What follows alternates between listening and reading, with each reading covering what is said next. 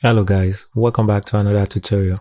In this tutorial, we are going to be designing this rocker arm and this is a good exercise to learn about the loft feature. So let's start a new part file and see how we can create it. To create this part, we'll start a new part file and click OK. Next, we are going to change our unit to millimeter.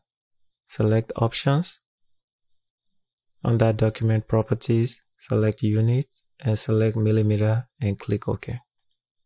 We'll select the front plane and on the sketch tab, select sketch. Going to go number 2. Then let's draw a line. Draw a line from this point, our origin point coming out like that and we'll draw another line from the origin point at an angle like that. Let's add a dimension. The angle between this line and that line is going to be 120. The length of this line is going to be 254. Then let's click OK. Then we are going to add a relation. Select this line hold down the control key, select this line, add a equal relation. So those two lines are equal to each other. If I was to add a dimension here, a line, it should be 254. Next, we are going to draw three circles. One up here, one down here, and one here. We are going to select this circle and that circle Holding down the control key, select both and make them equal to each other. Then let's add our dimension. This diameter of this circle is going to be 38.1. And the diameter of this is going to be 63.5. I'm going to move that so you can see. Let's select all this. So you can left click to select everything, left click somewhere here and just drag like that to select everything and click for construction to make everything a construction line. Now let's add another line. We are going to add a line here coming up. We're also going to add a line here. So let's use the midpoint line use the midpoint. I'll start at that point and I'll just drag it until I touch that circle. I'll do the same thing over here. I'll select the midpoint, drag it until I touch that circle. Let's add some dimension. I'll click the dimension. The angle between this line and that line is going to be 60. And we're also going to give it a length so select the line, make sure it is unaligned, click, and it is going to be 65. So let's move everything around so you can see what's going on. I'll move this over here. Select that line and make it a construction line. Make this line a construction line too. And to make this line fully defined, select this line and this line and add a perpendicular relation. Then you can select that line and make it a construction line. We have a fully defined sketch. This is just our foundational sketch. Everything looks good. We can exit our sketch. And you should have something like this. Let's select the front plane again.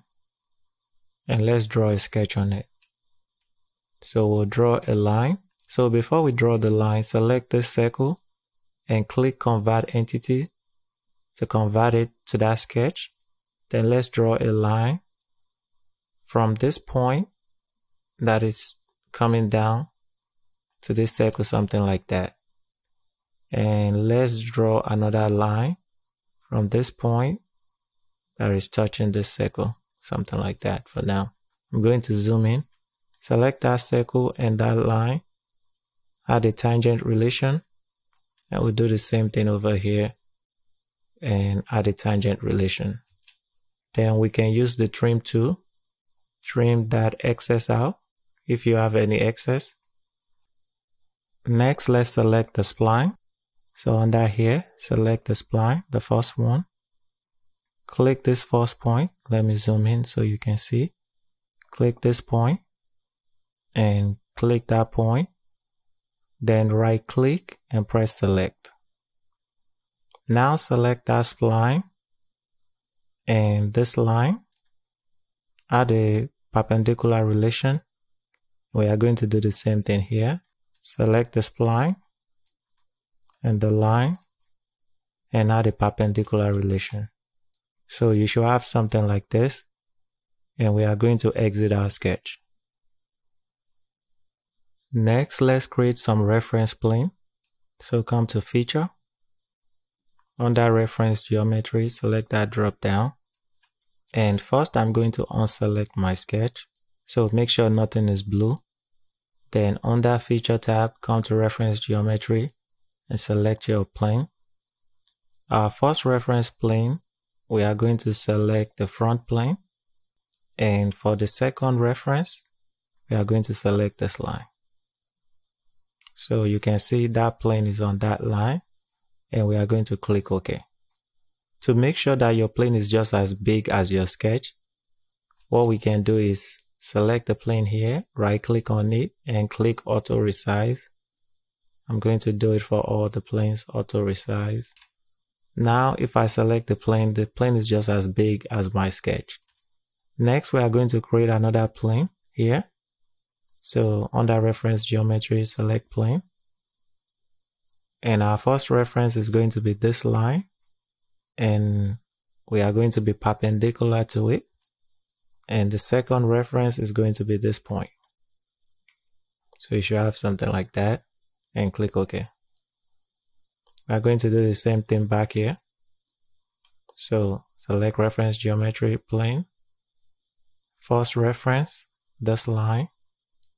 We are going to be perpendicular to it. Second reference, that point. And click OK. Next, we are going to draw our sketch. So let's select this first plane. We'll select sketch under the sketch tab so I can see it, I'm just going to move it a little bit here. First, I'm going to draw my ellipse. So select ellipse under ellipse and let's draw something starting at the origin point, going up and going out. We are going to also, let me zoom in. So this point and that point should be coincident. Then I'm going to select normal to. Now I'm going to add a dimension from this point to that point, it's going to be 30. And that sketch is done. We are going to exit. And just in case if this plane is confusing, you can select it and hide it. We don't need that one anymore. We are going to do the same thing up here. Select this top plane and sketch. I'm going to go normal to. I can't really see it, so I'm just going to move it here. Then I'm going to zoom in. I can start my ellipse on it from this point to that point and out. Then now I can go normal to and I'm going to add a dimension from this point to that point and it is going to be 30. Good. So you should have something like this. We are going to exit our sketch I'm also going to hide this plane because I don't need it anymore. We are going to select this plane and start a sketch. We'll start an ellipse on it. We'll start it on this line. Make sure it's not on the center line. Just start it on that line and draw something coming up and something coming out. We'll click this point and our spline and add a pierce relation and we will do the same thing click that point and this lower line and add a pierce relation now let's go number 2 and let's add a dimension from here to here and it is going to be 60 we have a fully defined sketch we can exit out and let's do some cleanup. Our sketch one, we want to hide it at this point because we don't need it. And I'm also going to hide my plane. So when you are done, you should have something like this. Now we are going to loft this into that, into that, and we will use this as our guide curve. So come to your feature, select loft, we'll select this sketch, and we'll select that sketch, and we'll also select this sketch. And for our guide curve, select the guide curve. So I'm going to move this, select the first spline, which is up there. And make sure when you select it, select the open loop and click the check mark. We are going to select our second guide curve. So it will be the second line, which is the one under with that arc. Once you select it, select open loop and click the check mark to add it. Now you should have something like this. Then we are going to click OK. And that is how you create this feature. Next, let's show our sketch one again. I'm going to right click on it and show the eyeball. Then I'm going to select the front plane and start a new sketch on the front plane. I go number two. I draw my first circle here. I draw another circle here. And I'll draw another circle here. Something like that. This circle and that circle are going to be equal to each other. And let's add a dimension. This is going to be 58.1. And this is going to be 83.5. So we are going to come to the feature tab, extrude, and I'm going to move it here so you can see it. We are going to extrude it by the mid plane. The distance is going to be 65 and we are going to click the draft and we are going to add a 5 degree in there and click OK when you are done. So you should have something like this now. So next, all we have to do is cut a hole in it and draw our fillet. So I can select this face and come to the sketch tab and start a new sketch and go number two. Then I'm going to select that circle, convert entity, that circle, convert entities, and this circle and convert entities. Then once I'm done, I have a fully defined sketch. Come to the feature tab, extrude cut, and we are going to select up to next and click OK. The final thing we are going to do is add a fillet to this face. So select fillet it is going to be 10 and we are just going to select this face and it should add the fillet to all three face and click OK. And the next thing we can do is add our appearance.